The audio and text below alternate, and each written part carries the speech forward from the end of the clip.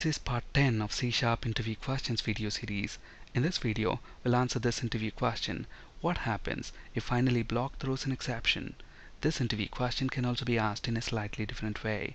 How to handle exceptions that occur in finally block. So, what actually happens if finally block throws an exception? Three things happen. 1. The exception propagates up and should be handled at a higher level.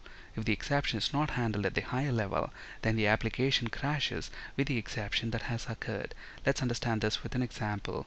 Let's flip to Visual Studio. Here I have a console application. Let's include another method here. Let's call this hello. And let's include a try block, a catch block, and a finally block. And within this finally block, let's write some code that would cause an exception to occur. Let's try to convert this string to an integer. Obviously, runtime will not be able to convert this string to an integer. We will have a format exception. Now, let's call this hello method within main method.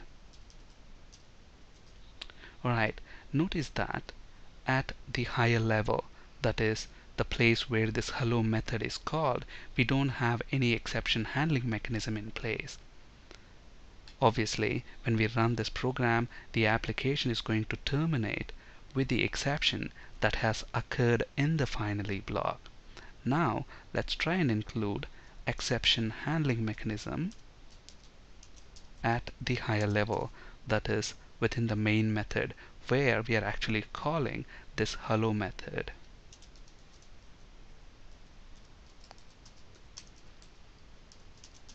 So since we are using exception handling mechanism here at the higher level, we have the opportunity to handle the exception that has occurred within the finally block of this hello method. Let's print the exception message to the console. In reality, we, will we may actually log the exception message to an event viewer or to an XML file or to a database table. Let's go ahead and run this. Now look at that, the application doesn't crash since we have exception handling mechanism at a higher level. We have the opportunity to handle that exception. So what's the second thing that can happen? The finally block execution stops at the point where the exception is thrown. So if you look at this finally block, this is where the exception is thrown. Now let's include a console.write line statement here. So let's say this line will be executed. So obviously this line is present before the exception is occurring. So obviously this piece of code will be executed. But at this line we will have an exception occurring.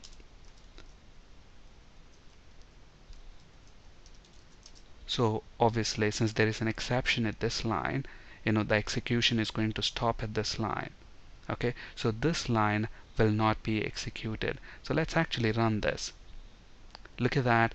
We have, you know, this line printed, but this line is not printed. Why is that? Because there is an exception at this point, because of which, you know, the processing is stopped at this line.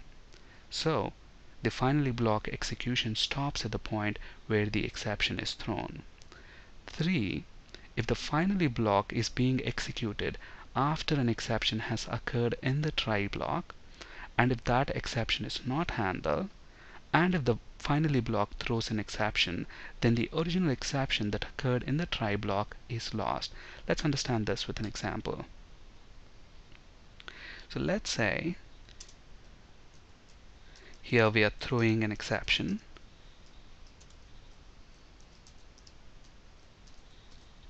Let's call this try block exception.